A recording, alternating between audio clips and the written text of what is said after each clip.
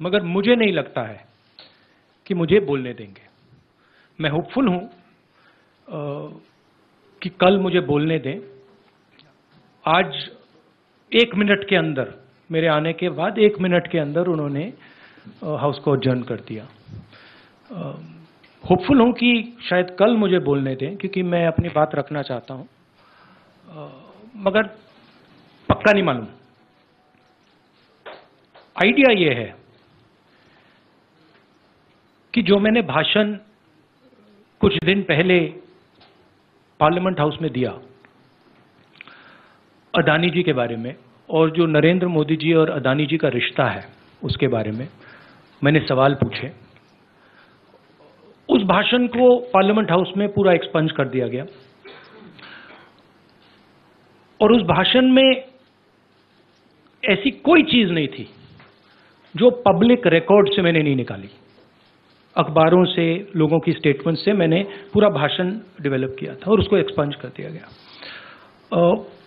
ये पूरा मामला डिस्ट्रैक्ट करने का मामला है।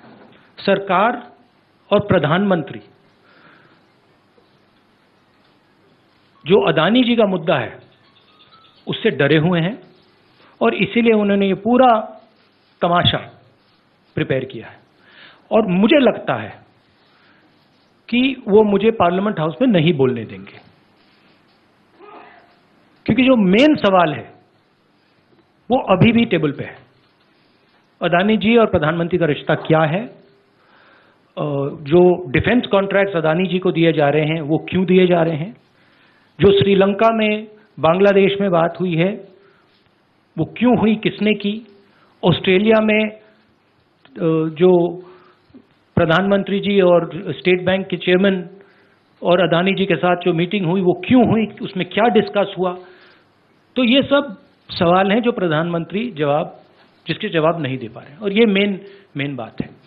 आ, मैं एमपी हूँ तो मेरी पहली रिस्पॉन्सिबिलिटी पार्लियामेंट में जवाब देने की है। आ, और मैं चाहता हूँ कि पार्लियामेंट में जवाब देने के बाद मैं आपके साथ डिटेल में डिस्कशन करूँ। मगर उससे पहले मैं डिटेल में आपके साथ नहीं जाना चाहता हूँ, क्योंकि वो वो एज एन एमपी वो हमारा प्लेटफॉर्म है। I say it in English I went to parliament this morning the idea of putting what I have said or what I feel on the floor of the House. Four ministers have raised allegations against me in Parliament House. It is my right to be allowed to speak on the floor of the House. I requested the Speaker today. I went to his chambers and I requested him and I said, look, I would very much like to uh, speak. I told him that people from the BJP have made allegations against me and as a member of parliament, it is my right, it is my right to speak. He was non-committal. Uh, in his in his way he smiled. Um, but i'm hopeful that i will be allowed to speak tomorrow. What is going on here? This story started the day i gave my speech in parliament about mr adani. And i asked some fundamental questions to the prime minister about his relationship with the businessman uh, about how Mr. Adani has been given pretty much the entire India-Israel defense relationship. How he's been, been given the Bombay airport, other airports. How rules have been changed to allow him to be given these things. What happened in Australia between the Prime Minister, Mr. Adani, and the chairman of the State Bank, and the, one of the chief ministers of one of the states in Australia. That's a picture that is visible to everybody. Why is the Prime Minister of India sitting with the state bank chairman and uh, Mr. Adani and an Australian leader? What is he discussing? And why, after that discussion, is almost a billion dollars pledged by the state bank to Mr. Adani? Uh, what was said in Sri Lanka? Why Mr. Rajapaksa, a person has made a statement saying Mr. Rajapaksa uh, told him that Mr. Adani was given the contract and it was basically Mr. Modi who told him. The same uh, in Bangladesh. So these are relevant questions.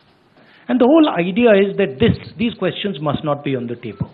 And that is why this whole exercise of four or five ministers, the prime minister giving a speech to distract from this fundamental question, which is what is the relationship between the prime minister of India and Mr. Adani and his companies, and more importantly, whose money is in these shell companies?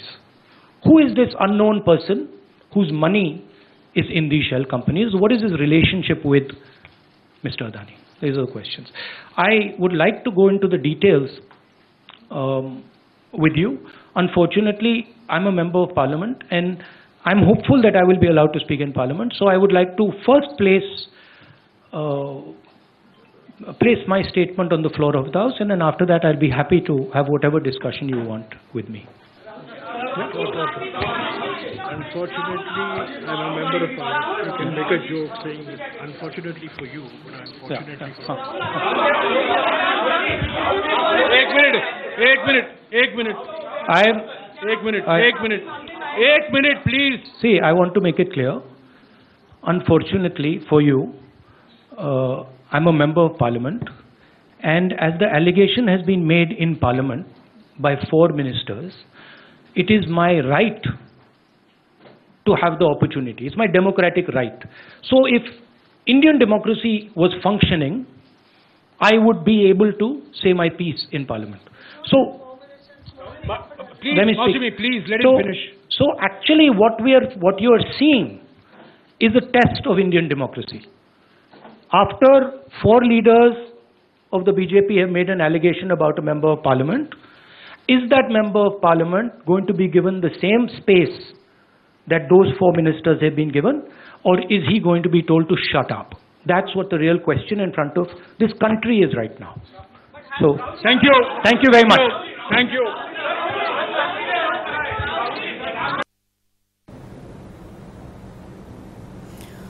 Rahul Gandhi कह रहे हैं कि जब वो संसद पहुँचे तो ठीक एक मिनट बाद संसद की कार्यवाही को स्थगित कर दिया गया। वो कह रहे हैं कि चूँकि मैं सांसद हूँ, संसद में बोलना मेरी ज़िम्मेदारी है, जवाब देना मेरी ज़िम्मेदारी है, लेकिन मुझे बोलने नहीं दिया जाता।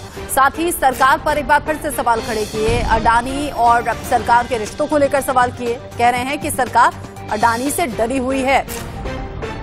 राहुल गांधी ने अपनी इस प्रेस कॉन्फ्रेंस के ज़रिए एक तरीके से जवाब उन सभी आरोपों पर दिया है जो उन पर लगाए जा रहे हैं, खासतौर से बीजेपी के ज़रिए। इन दिनों जो भी आरोप लगाए गए, जो भी सवाल पूछे गए, लंदन में, कैम्ब्रिज में जो बयान राहुल गांधी ने दिया, वही उनकी परेशानी की वजह बना हुआ है।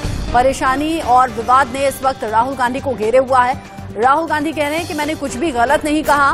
मैंने अडानी को लेकर जब सरकार से सवाल पूछा है तो क्यों आखिर सरकार अडानी को लेकर जवाब देती नहीं है। सरकार के चार मंत्रियों ने मुझ पर आरोप लगाए और इन आरोपों पर मैं जवाब देने के लिए तैयार भी हूँ, क्योंकि मैंने कुछ भी गलत नहीं किया। कह रहे हैं कि मेरे भाषण को रिकॉर्ड से हटा दिया गया।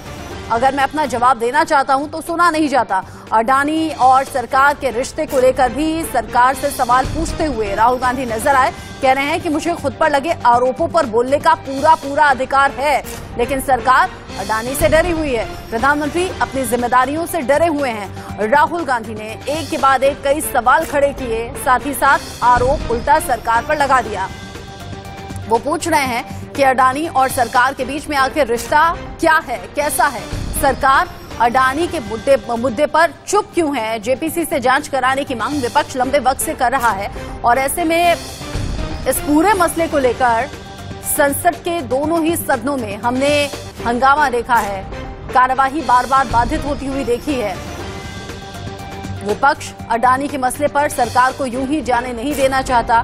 साथ ही साथ महँगाई और बेरोजगारी कुछ बड़े मुद्दों में शामिल ऑलरेडी विपक्ष के है। ऐसे में आज कांग्रेस सांसद राहुल गांधी जब सदन पहुँचे तो उनके ज़रिए ये बताया गया कि जब मैं पहुँचा तो उसके ठीक एक मिनट के बाद सदन की कार्यवाही को स्थगित कर दिया गया। मैं अपना जवाब दे नहीं पाया, लेकिन चूँकि मैं एक सांसद हूँ और संसद में बोलना मेरा अधिकार है, मुझ पर जो सवाल पूछे जा रहे हैं, उठाए जा रहे हैं, उसको मैं जवाब देना चाहता हूँ। कह रहे हैं कि पीएम कई सवालों से बच रहे हैं, जवाब देने से बचा जा रहा है। लगता है कि मुझे संसद में बोलने नहीं दिया जाएगा। मैं अगर कुछ बोलता भी हूँ तो मेरे बयान को रिकॉर्ड से हटा दिया जाता है। पीएम के ऊपर सीधा सीधा निशाना राहुल गांधी का रहा और ये पूछा कि आखिर क्या रिश्ता प्रधानमंत्री और अडानी के बीच में है? वो कह रहे हैं कि मैं बोलना चाहता हूँ, बोलूँगा भी, लेकिन अगर मैं बोलता भी हूँ तो मेरी बातों को रिकॉर्ड से हटा दिया जाता है। संसद में बतौर सांसद जवाब देना मेरी प्राथमिकता भी है और मेरी ज़िम्मेदारी भी है। कांग्रेस सांसद राहुल गांधी ने मोदी सरकार पर निशाना साधते हुए कई सवाल यहाँ खड़े कर दिए हैं। साथ ही साथ अपने ऊपर आरोपों को लेकर राहुल गांधी ने कहा कि मैं अपनी बात रखना चाहता हूँ और जिस बयान को लेकर बवाल इतना है, मैंने कुछ भी गलत नहीं कहा।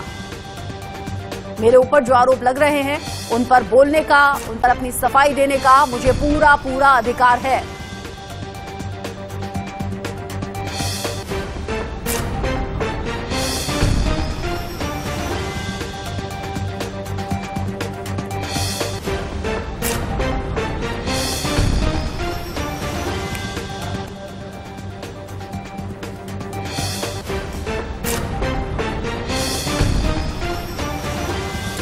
राहुल गांधी ने आज अपने ऊपर लग रहे आरोपों को लेकर खुलकर बात की है।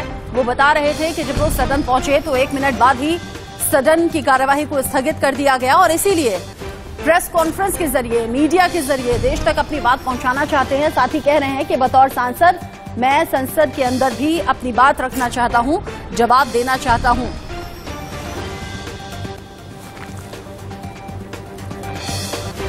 राहुल गांधी ने प्रेस और प्रेस कॉन्फ्रेंस में राहुल गांधी ने ज़ोर दिया कि मैं सांसद हूँ संसद में जवाब देना मेरी ज़िम्मेदारी है। अडानी मुद्दे से ध्यान भटकाने की साजिश हो रही है। मैं जवाब दूँगा जिस बयान को लेकर मुझे घेरा जा रहा है लेकिन संसद में मुझे जवाब दे, देने दिया जाएगा मुझे इस बात का